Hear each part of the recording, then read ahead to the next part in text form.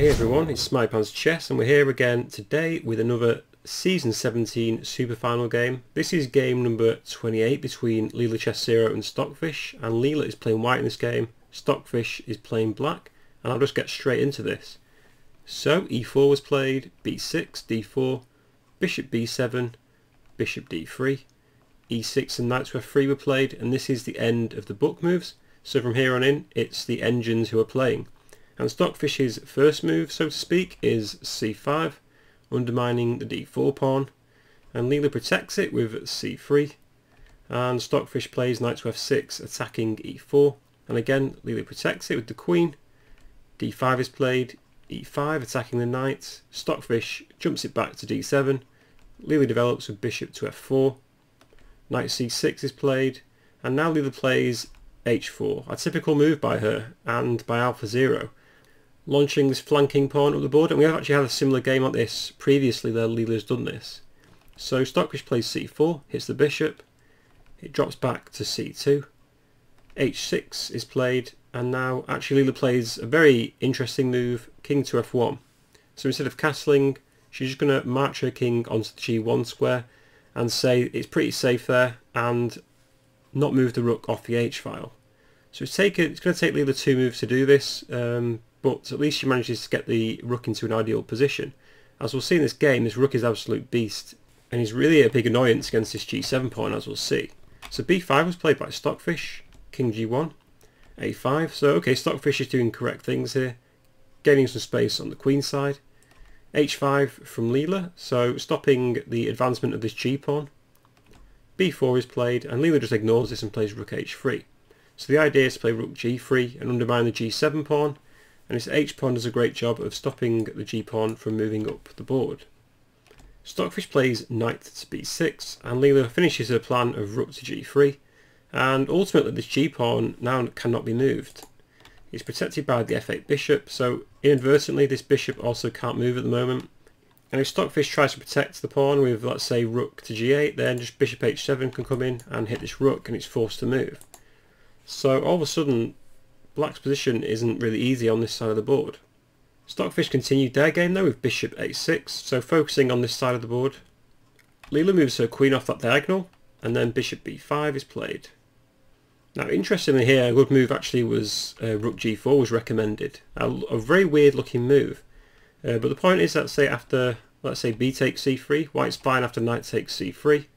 If queen d7 here, the idea behind this rook g4 move was to play moves like bishop g3 and play bishop h4. So in a way I kind of wanted Leela to play rook g4 here, but just because it's such an unusual way of dealing with the rooks. I mean it's gone from h1 to h3 to g3 to g4. It would just been very weird. But Leela just defended with bishop to d2. Stockfish continued with rook a7.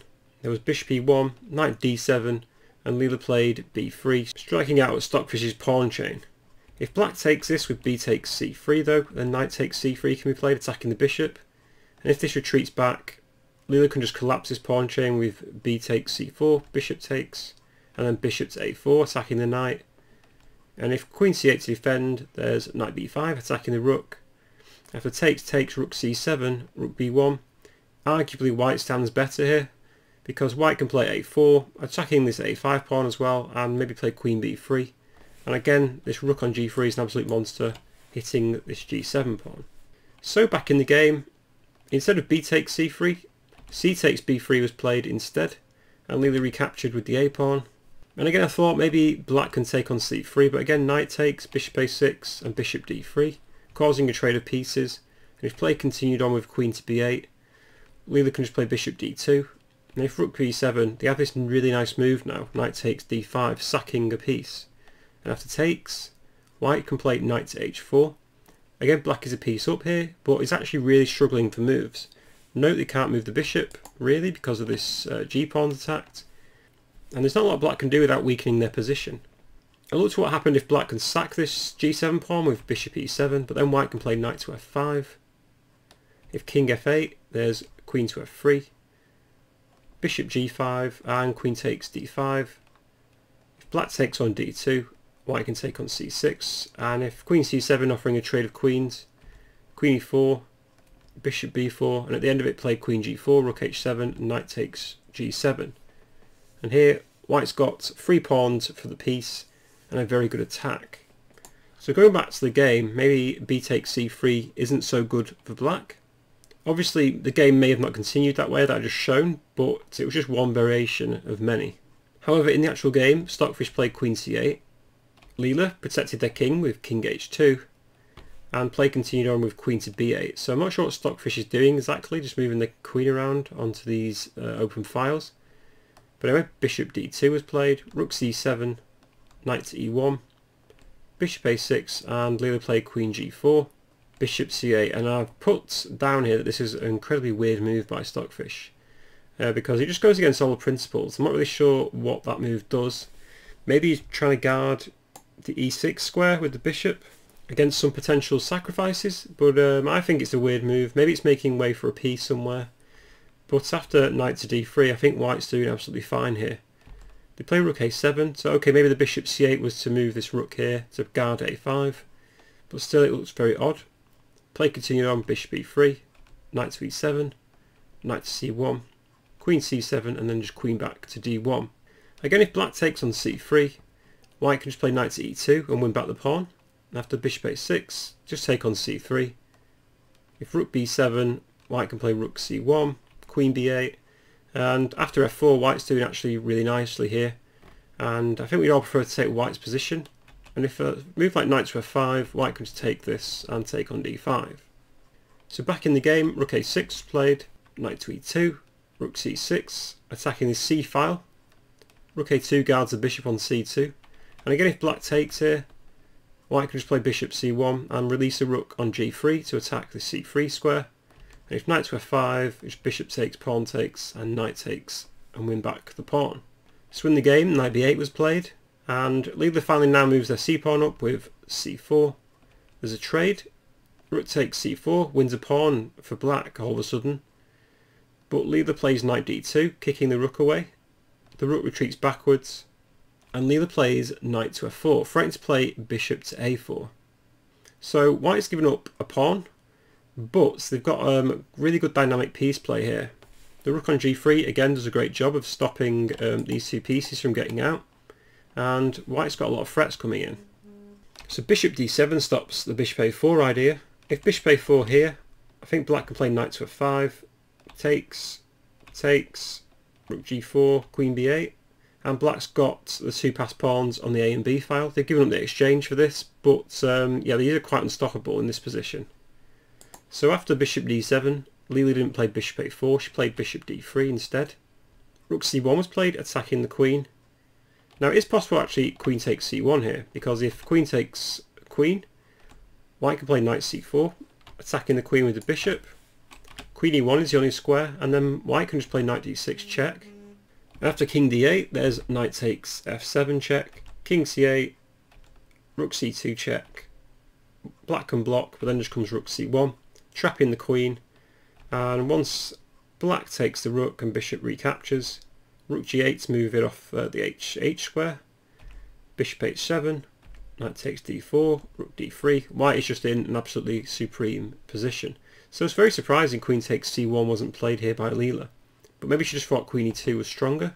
Anyway, black now played knight to d5. There was a trade. And actually, Leela was very crafty with rook takes a5, winning back the pawn. After queen takes, knight b3, forking the queen and the rook. So knight takes the rook, white's won the pawn back, and knight c6 is played. So we're into an equal position once again but black's got a passed b pawn. However, you'd have to argue that white's actually got the stronger pieces here. And there's no way this pawn is moving down the board yet due to this knight and this bishop and this queen are blocking these squares. Queen f3 attacks d5, bishop e6 to defend, knight to e2, queen b7 getting behind the pawn, but white plays knight to f4 which attacks the d5 square again, knight d8 to protect the d5 pawn with the queen, and also this knight protects the bishop, but Leela takes anyway. Knight takes bishop, knight takes back, and all of a sudden white's left with the two bishops, arguably the better two pieces. And Leela's very crafty. She plays bishop c4, attacking d5. And obviously the d5 pawn is pinned, so if pawn takes, then queen takes queen. So knight c7 was played to support d5. and Leela just craftily blocks this b pawn with the bishop. Play continued on with queen c6. Leela protected the bishop on b3 with the queen. The king went to d8. Bishop a4 attacking the queen, which goes to e6. Bishop c2, and now there's a bit of back and forth here with the queen and bishop. So black gets their king onto the other side of the board, and there's a lot of floundering around at this moment in time. Leela plays f4, king b7, bishop goes to d2, and Leela plays f5. So suffocating black's position. Queen e7 to check on h4, but then the rook comes in to stop this. Queen d7, queen f3 attacking d5 twice. Again, just stopping black from making any progress. So now this rook attacks this pawn. The queen and the bishop attacking this pawn. This bishop also attacks this pawn. And it's very hard to move these pieces for black, so the king just has to move instead. Bishop e1, queen c6, still defends everything, uh, but it's getting trickier for black to move. Queen protects the bishop, f6. Bishop e1 attacks the queen, the queen jumps back, and again Leela just slowly suffocates like a python. Rook g6, so pinning this f6 pawn. King b7, queen f3, rook h7 to protect g7. Okay, so now maybe this bishop can move around the board somewhere. But now this rook on h7 is constantly defending this g-pawn. Bishop g3, king a7, queen d1, bishop e7. And again, not much progress is being made by either side at this moment. Except maybe for Leela, just due to the fact she's suffocating black's position so much. But eventually after a few moves, um, here, bishop f8 was played. I looked at f takes e5, but uh, again I think white gets the better of this with d takes e5, bishop g5, rook g4, and again white's attacking b4, two pieces attacking d5. Um, and look at this horrendous rook for Stockfish, terrible. So again bishop f8 was played and a lot of shuffling going on, high-end shuffling as we call it now. But still, white's got a good grip on this game and black's literally going nowhere. So slowly, this is what Leela does, just slowly improves her position. Okay, she pushes the pawn up. And basically, yeah, she's just like a big clamp on black's position. The two bishops are doing a wondrous job of stopping any progress being made. And I think we'd all prefer white in this position. So bishop f2, nice, protects the bishop. King c6, rook g4. Again, after a few moves, there's a lot of rook and queen moves at the moment because they're the only two pieces that can actually make um, progress without weakening the position. And queen a2, king b6, and now looks at bishop takes d5. Maybe it could have been played after knight takes, queen takes, queen c6, takes, takes, bishop e3, b3, bishop c1 to stop uh, b2, takes, takes, rook h8, king h3. I think white's got the better of this game. They're a pawn up. However, maybe it wasn't enough for Leela to take this pawn. Maybe she didn't feel like she had enough compensation. So play continued on with queen e2. Queen c3 was played. Queen f3 and finally there's a trade of queens. And Stockfish moves their king to c6 to defend d5. Leela checked. The king retreated back and now Leela just gets her king slowly over to the other side of the board. Oh yeah, I should go back here actually. So bishop e3 was played. And again, just highlighted this rook and white's rook. These Both these rooks are going nowhere, but ultimately it'll be Leela to decide when the rooks can move away. Um, and Leela's always got a tempo in hand here because at any point she could just play rook g6 and go rook back to g4 to create some tempos if need be. Whereas this rook on h7 can never move because then rook takes g7. So king b6 attacks the bishop, bishop a4, and as we'll see here, the king's getting to the other side of the board. Bishop c6, attacking d5. The king attacks the bishop. And Leela's just slowly making some minuscule moves. Knight b5.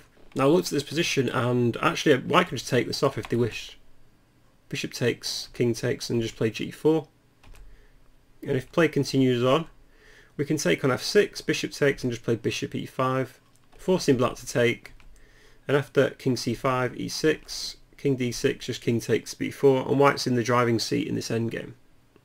So play continued on even more. This is an incredibly long game once again by these two engines, uh, but eventually white plays his e6, the king goes back to um, b6 and just bishop to d7, knight to b5, and Leela wins the pawn with bishop takes b4. Knight goes to d6 though, forcing white to take, and even though it's opposite coloured bishops, white actually is a pawn up and has a passed e-pawn. Also again, this g7 pawn is weak. So king c2, king c7, king goes to d3, king b7, and just back and forth a few times with these bishops. So the bishop goes to f8, bishop to f7 now, king c6, and this is where things get interesting. Leela plays bishop g8, attacking the rook, the rook goes to h8, e7 is played, forcing black to take, and then finally Leela captures this g7 pawn. Hitting the bishop on e7, the bishop retreats and white plays rook to g6, attacking f6, the bishop protects, Leela plays g4 though, and bishop d6 is played. So at the moment white can't take on f6 because then rook takes g8 will be played, so she plays g5, after h takes g5, plays h6, bishop e7 to protect f6 again, and now just h7. And look at this rook on h8. Terrible. The bishop supports the pawn and the pawn supports the bishop. Um, and black's basically in a clamp. And now it's just a matter of time until white can clean up this game and get the king and the rook into decent positions to clean everything up. Basically, White's just going to march their king into the g7 square at some point and try and pick up the rook. g4 will be played, bishop takes d5, and at any moment white can just play king g7. So king d6 is played, bishop g2, bishop f2, finally king g7, rook d8, white gets a queen, bishop takes the pawn, rook d3 attacking the bishop, stockfish defends, and Leela just finishes off with rook takes d4 and king takes d4. Here Stockfish resigned the game and Leela won.